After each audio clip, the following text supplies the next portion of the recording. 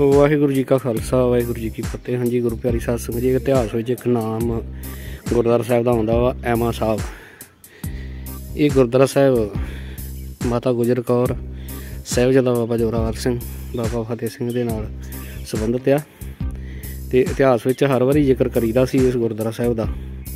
ਤੇ ਮਨ ਦੇ ਵਿੱਚ ਹੈਗੀ ਸੀ ਇੱਛਾ ਕਿ ਦਰਸ਼ਨ ਜ਼ਰੂਰ ਕਰਨੇ ਆ। ਸੋ ਇਹ ਗੰਗੂ ਦੇ ਪਿੰਡ ਸਹੇੜੀ ਤੋਂ ਭਾਵਖੇੜੀ ਤੋਂ, ਇਹ ਥੋੜਾ ਹੀ ਦੂਰ ਆ।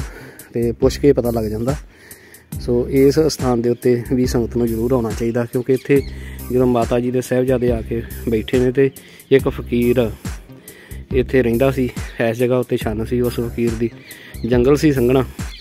ਤੇ ਜਦੋਂ ਉਹਨੇ ਆ ਕੇ ਮਾਤਾ ਜੀ ਨੂੰ ਨਿਮਰਤਾ ਸਹਿਤ ਪੁੱਛਿਆ ਕਿ ਆਪ ਜੀ ਇੱਥੇ ਕਿਵੇਂ, ਤਾਂ ਮਾਤਾ ਜੀ ਨੇ ਆਖਿਆ, ਅਸੀਂ ਤਾਂ ਬਸ ਐਵੇਂ ਹੀ।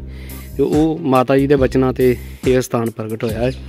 ਸੋ ਸਾਨੂੰ ਚਾਹੀਦਾ ਹੈ ਕਿ ਇਸ ਸਥਾਨ ਦੇ ਉੱਤੇ ਵੀ ਜ਼ਰੂਰ ਹਾਜ਼ਰੀ ਭਰੀਏ, ਕਿਉਂਕਿ ਇਹ ਸਥਾਨ ਜਿਹੜਾ ਹੈ ਇਤਿਹਾਸਕਾਰ ਜਿਹੜੇ ਆ, ਉਹਨਾਂ ਨੇ ਬੜੀ ਘੋਖ ਦੇ ਨਾਲ ਇਹ ਸਥਾਨ ਲੱਭਾ। ਸੋ ਅਨੁਭਵ ਵੀ ਉਹਦੇ ਵਿੱਚ ਸ਼ਾਮਲ ਹੈ, ਸਥਾਨ ਲੱਭਣ ਦੇ ਵਿੱਚ। ਇੱਥੇ ਵਿਰਾਜੇ ਹੋਏ ਸੀ, ਇਸੇ ਜਗ੍ਹਾ ਦੇ ਉੱਤੇ ਗੁਰੂ ਪਿਆਰੇ ਜਿਹੜੇ ਇਤਿਹਾਸ ਲਿਖਣ ਵਾਸਤੇ ਆਏ ਸੀ।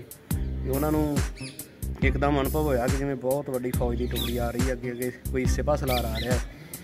ਤੇ ਜਦੋਂ ਉਹ ਕਹਿੰਦਾ ਕਿ ਮੈਂ ਇੱਕਦਮ ਉੱਠਿਆ ਤਾਂ ਮੈਨੂੰ ਮਹਿਸੂਸ ਹੋ ਗਿਆ ਕਿ ਕਲਗੀਆਂ ਵਾਲੇ ਪਾਤਸ਼ਾਹ ਨੇ ਆਪ ਵਰਤਾਰਾ ਇਹ ਵਿਖਾਇਆ ਹੈ। ਉਹ ਬਿਲਕੁਲ ਇਸ ਜਗ੍ਹਾ ਦਾ ਵਰਤਾਰਾ ਤੇ ਇਹ ਪੁਰਾਣਾ, ਪੁਰਾਣੀ ਬਿਲਡਿੰਗ ਹੈ, ਪ੍ਰਾਤਨ ਕਾਫੀ ਤੇ ਉਸ ਪਾਸੇ ਜਿਹੜੀ ਨਵਾਂ ਨਵਾਂ ਦਰਬਾਰ ਬਣਿਆ ਉਹ ਵੀ ਕਾਫੀ ਚੱਲਦਾ ਹੈ। ਸੋ ਜਿੱਥੇ ਆਪਾਂ ਹੋਰ ਗੁਰਧਾਮਾਂ ਦੇ ਦਰਸ਼ਨ ਕਰਦੇ ਆ ਇਹ ਜੋ ਗੁਪਤ ਸਥਾਨ ਪ੍ਰਗਟ ਹੋਏ ਆ, ਗੁਰਦੁਆਰਾ ਐਮਾ ਸਾਹਿਬ ਇਤਿਹਾਸ ਵਿੱਚ ਵੀ ਜ਼ਿਕਰ ਹੈ।